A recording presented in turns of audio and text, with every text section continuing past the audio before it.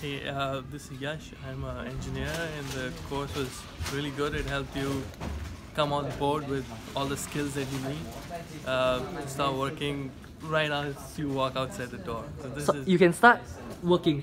yeah, you can start doing Okay.